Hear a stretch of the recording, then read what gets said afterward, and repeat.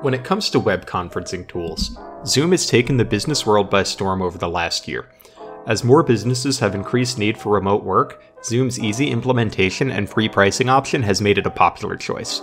Before Zoom, Skype was the king of the web conferencing space, but more recently, Microsoft has started to phase out Skype for Business in favor of the more robust Microsoft Teams. Is Microsoft Teams good enough to take back the video conferencing crown from Zoom? Let's take a look at how they stack up compared to each other. The core difference between Zoom and Microsoft Teams is that Zoom is a dedicated video tool, while Microsoft Teams is a collaboration tool. This means that while Zoom focuses on easy to use, high quality video, Microsoft Teams includes features such as text chats, private messaging, and integrations with Office 365 software that makes it easy for users to collaborate on work together in real time. With this in mind, it might sound like the choice is easy. Zoom for businesses looking for the best quality video they can get, and Teams for businesses looking for a collaboration tool with more to offer beyond just video. This isn't a bad understanding of the products, but there are some nuances to consider in terms of pricing, your business's IT infrastructure, and what specific video features you need. Both Zoom and Teams offer a limited free version of their web conferencing tool, as well as premium options with more robust features.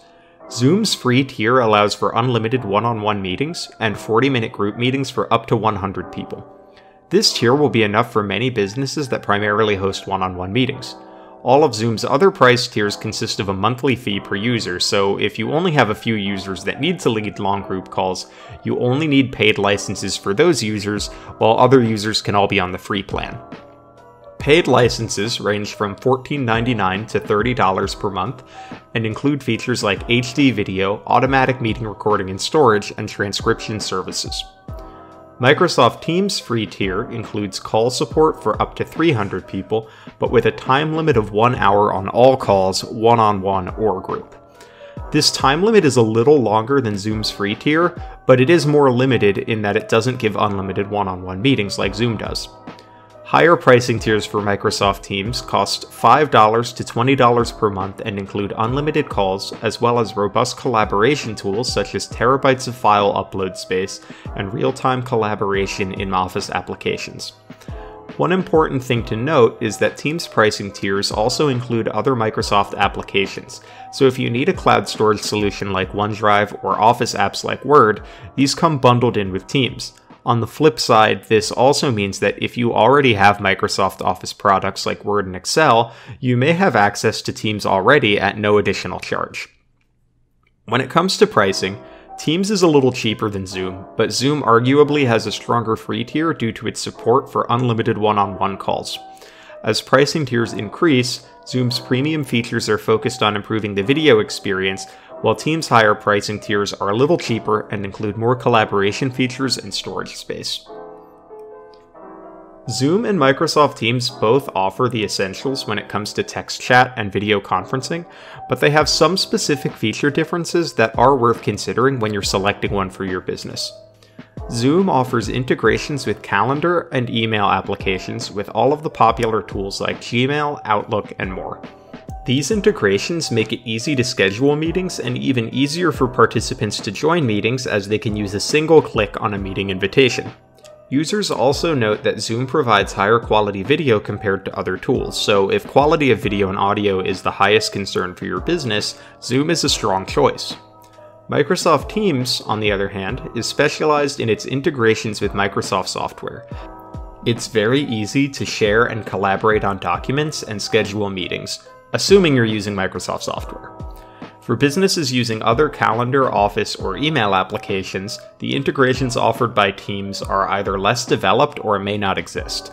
In this way, Teams offers excellent support for Microsoft users, but may leave something to be desired for businesses using other suites of Office software. Another key differentiator for Microsoft Teams is its collaboration features. Group chats can be created easily with document sharing and real time collaboration features. Zoom does offer simple text chat, but it doesn't offer in app document collaboration or nearly as many options for user permissions in groups. Lastly, while Teams isn't as simple as Zoom for inviting external participants to meetings, internal team members can very easily get into a voice chat or call with a single click, even without an invitation. Between the two software options, Zoom offers more robust video features while Teams offers better text chat and collaboration features. Additionally, Zoom works really well for businesses that don't use and don't want to use Microsoft software for their Office or email solutions, while Teams is easy to implement for businesses using Microsoft software already. Considering features and price, Microsoft Teams is an ideal tool for businesses that use Microsoft software or want Office software bundled in with their video tool. Zoom is ideal for businesses that work on a non Microsoft infrastructure, and it also provides a more robust free option with its unlimited one on one calling, while Microsoft Teams offers more affordable premium versions, and many businesses using Microsoft Office software will already have it without any additional fees. If you still aren't sure which tool is the right one for you, consider checking out some reviews for either product on trustradius.com.